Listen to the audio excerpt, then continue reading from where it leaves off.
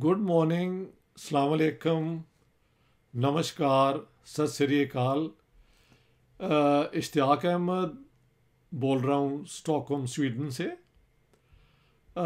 इन दिनों मैंने कई आपके साथ अपनी मौजू पे, कई मौजू पे अपने अपने अपने ख्याल का इजहार आपसे शेयर किया है और आपका फीडबैक जो है वो it's most welcome one is learning all the time आज का मौका है मेरा कि दो अपने दोस्तों का तहे दिल से ना शुक्रिया अदा करूँ। आपको जैसे पता है कि पार्टीशन के ऊपर और पार्टीशन ऑफ़ पंजाब के ऊपर मेरा ख़ासा तवील काम है। The Punjab bloodied partition and cleansed unravelling the 1947 tragedy through secret British reports and first person accounts ये ऑक्सफोर्ड यूनिवर्सिटी प्रेस कराची ने छापी और इंडिया के अंदर रूपा पब्लिकेशंस ने इसे पब्लिश किया। फिर पाकिस्तान में इसका उर्दू तर्जमा पैरामाउंट बुक्स ने पब्लिश किया। पंजाब का बंटवारा एक अलमिया हज़ार दास्तानें और फिर हिंदी में इसका तर्जमा आकार बुक्स न्यू दिल्ली ने पब्लिश किया पंजाब की ट्रेजिडी जिसका तर्जमा मेरे दोस्त गुरप्रीत सिंह ने किया था। फिर पटियाला से आ, इसी किताब का तर्जमा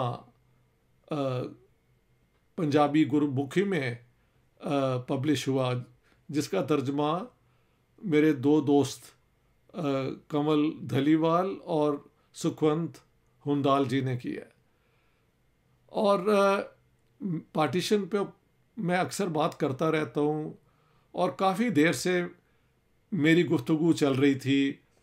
पाकिस्तान के एक बहुत टैलेंटेड बहुत gifted very creative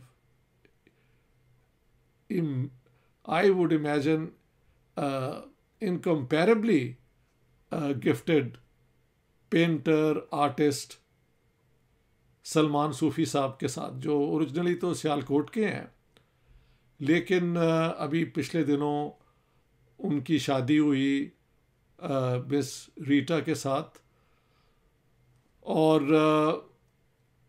उन्होंने मुझे इनवाइट भी किया कि आप वेबिनार के ज़रिए उस पर हिस्सा लें and it was very touching साथ साथ इन हालात में जबकि वो ख़ुद बड़े इन्वॉल्व थे पार्टीशन पे उनके मेरे ख्याल का जो एक दूसरे से एक्सचेंज है, उसको इन्होंने अपनी एक पेंटिंग के ज़रिए कैप्चर किया है। देखें प्रोज़ और नॉर्मल पोइट्री के अंदर लिमिट्स हैं। इससे बाहर जाने के लिए जो, वो आइडिया जो अल्फाज में एक्सप्रेस नहीं हो सकते फीलिंग्स के अंदर भी उनकी लिमिट है, वो डायमेंशन जो है, वो एब्स्ट्रैक्ट पेंटिंग के अंदर ही कैप्चर हो सकती हैं। और सलमान सूफ़ी ने पंजाब की जो पार्टीशन में जो खून बहा और जो दीवारें खड़ी हुई, उनको इस पेंटिंग में कलम बंद करके और मुझे प्रेजेंट किया है। ये देखें, इसके अंदर आप पहले have a good look at it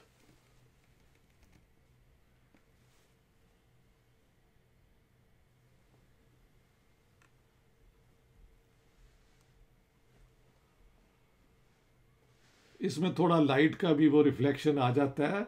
लेकिन आप देखें आर्टिस्ट की कमिटमेंट समझने वाले तो समझ ही जाएँगे कि ये लाल परपेंडिकुलर लाइन नीचे को जाती है, ये ब्रॉड बैंड ये है डिवीज़न और जो हॉरिजॉन्टल डार्क रेड है, वो खून की नहरें हैं, वो ट्रेजिडी है, वो दुख है और देखें बैकग्राउंड में उन्होंने वाइट ग्रे और ब्लैक को जिस तरह मिक्स किया है। तो ये मैं समझता हूँ, पंजाब की पार्टीशन की ट्रेजिडी पे एक मेरे ख्याल से बहुत बड़ी पेंटिंग है। और ये कि उन्होंने मुझे ये डेडिकेट करके और भेजी है I will always cherish it as a very very dear gift to me ये मेरे कमरे में मेरे कंप्यूटर के बिल्कुल पीछे ये हम हैंग करेंगे, ये हमने फैसला किया है। Salman Sufi and Rita thank you very much I wish both of you a great great life together अब मैं अपने दोस्त मुजम्मल मुख्तार साहब की, उन्होंने मुझे पोइट्री की किताब भेजी है अपना लंदन से। जीस के दायरे। इसके अंदर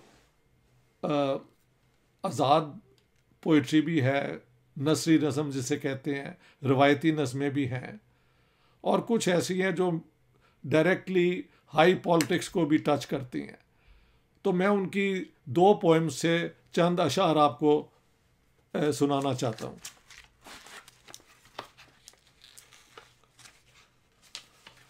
खौफ का माखज रियासत। आमरों की अपनी ताकत और मुआशी मफादात कायम रखने की ज़िद मसक शुदा तारीख़ और सोच को कैद रखने वाले निसाब से घड़ा रियासती बयानिया। जहनों पर बुनियाद परस्ती और ग़ुलामी का खौल, चढ़ा चढ़ाता रहता है। सोचने और सवाल उठाने वाले मुल्क दुश्मन और गद्दार कहलाते हैं। रियासती बयाने के परवरदा जहनी गुलामी में फंसे वजूद, सोचने और सवाल उठाने वालों के सीनों में गोलियाँ उतारते रहते हैं।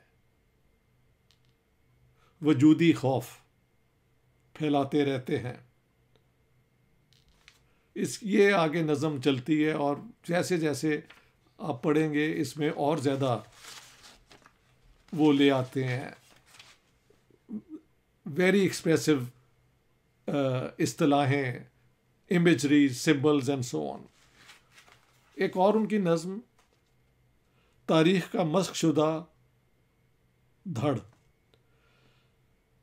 तारीख रियासती बयानिए पर दायरे बनाती, बना रही थी, लकीरें खींच रही थी, स्याह सुर्ख, धब्बे लगा रही थी। रियासत ने तारीख का गला काट डाला, तारीख मर चुकी रियासत फिर भी फिर भी खौफ खौफजदा थी। तारीख के मुर्दा धड़ में रियासत गोलियाँ उतारती रही। आप देखें, यहाँ पे भी इस नसरी नज़म में मुजम्मिल मुख्तार साहब ने जो आज़ादी से अपने ख्याल का इजहार किया है, वो भी एक क्रिएटिव क्या कहते हैं, जहन की निशानी है। तो आज के का दिन मुझे इन दो अपने साथियों, दोस्तों का तहे दिल से शुक्रिया अदा करने का मौका है। मैं समझता हूँ कि जबर की हालत में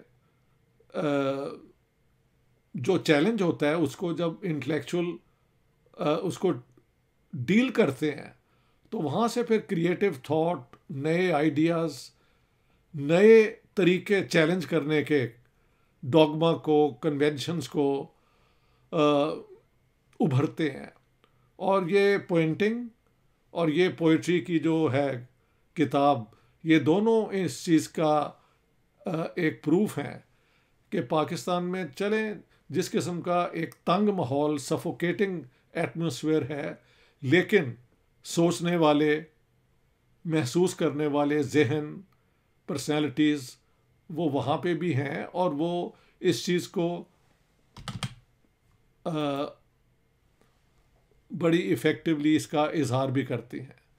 तो दोस्तों आज इन सब चीज़ से हट के ज़रा कल्चर पे